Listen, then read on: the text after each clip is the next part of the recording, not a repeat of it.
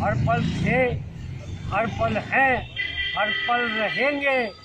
कल थे आज हैं। कल रहेंगे सफल थे सफल हैं।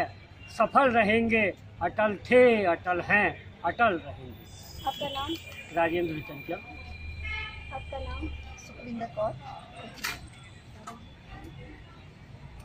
मैंने पहले भी कहा था कि अटल जी एक ऐसी शख्सियत हैं जो एक कवि भी हैं, एक राजनेता भी हैं, उनके अंदर एक फ़कीर भी है और उनके अंदर एक राजा भी है।